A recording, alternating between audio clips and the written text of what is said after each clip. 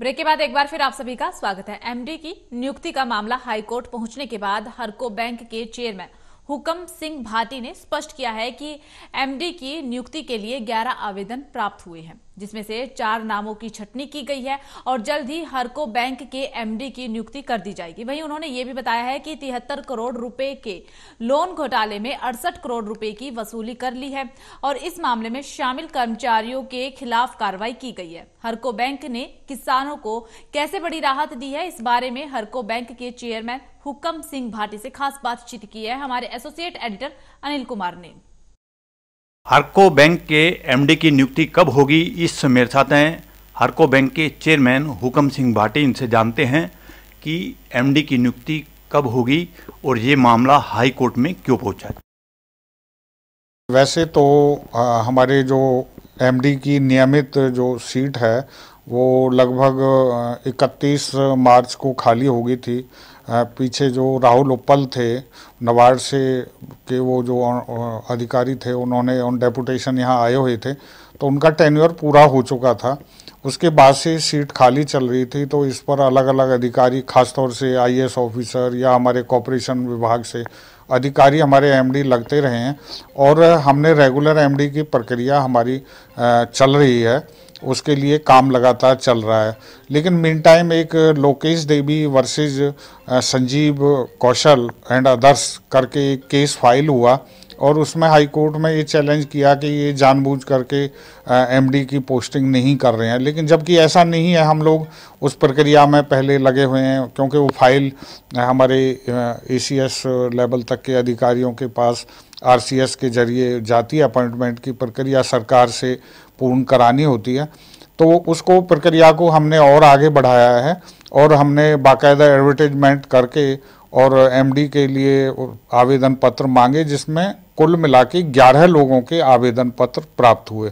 और जो अभी पीछे हमारी बीस तारीख को ये मीटिंग थी इसमें सिक्योरिटी कमेटी की मीटिंग थी उस कम, मीटिंग में हम लोगों ने 11 में से सारी सिक्योरिटी करने के बाद चार लोग जो है वो इंटरव्यू के पात्र उसमें निकाले गए हैं और बहुत जल्दी उनकी हम इंटरव्यू कंडक्ट करेंगे।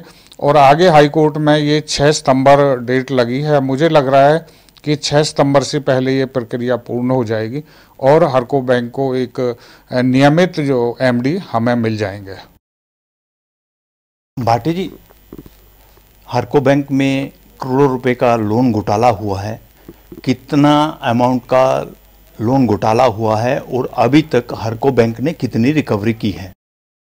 देखिए अब ये जो हरको बैंक का नाम ले तो अच्छा नहीं रहेगा। ये हमारा सीबी फतेहाबाद का एक घोटाला था, जिसमें बाकायदा एफआईआरें हुई और उसमें छः कर्मचारी, अधिकारी उनको उनको गिरफ़्तार किया गया, जिसमें से कुछ बेल पर हैं, ज़्यादातर शायद बेल पर आ चुके हैं। और उसमें नियमित जो है बैंक ने हरको बैंक ने हमारे जाँच की और जो दोषी अधिकारी हैं, उनके जाँच रिपोर्ट में उनके नाम आए और ये हरको बैंक की तरफ़ से ही एफआईआर दर्ज कराई गई थी, जिसमें वो अधिकारी गिरफ़्तार हुए हैं।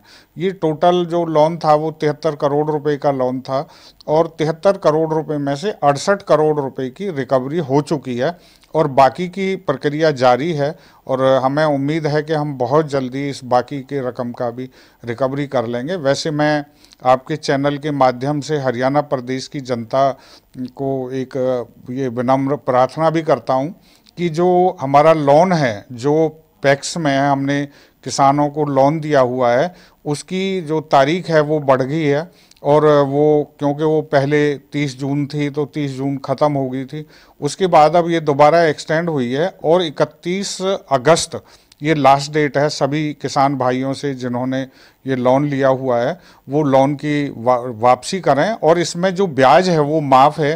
केवल जितना अमाउंट उन्होंने लिया है जितनी रकम ली है उतनी ही रकम वापस करनी है। अभी माननीय मुख्यमंत्री जी का भी मैं धन्यवाद करता हूँ।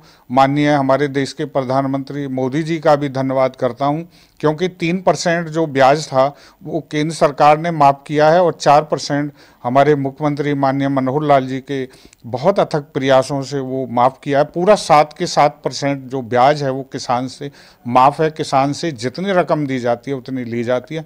इसलिए किसान भाइयों को भी ये रकम समय पर अदा करनी चाहिए, ताकि उनको अगली फ़सल के लिए नियमित तौर से फिर दोबारा से और ऋण मिल सके। ये थे मेरे साथ हरको बैंक के चेयरमैन हुकम सिंह भाटी। इन्होंने बताया कि एमडी की नियुक्ति जल्द कर दी जाएगी। वहीं इन्होंने बताया कि हरको बैंक में लोन घोटाला जो हुआ था, तिहत्तर करोड़ रुपए का लोन घोटाला था, जिसमें से अड़सठ करोड़ रुपए की रिकवरी हो चुकी है। Anil Kumar total news Chandigarh.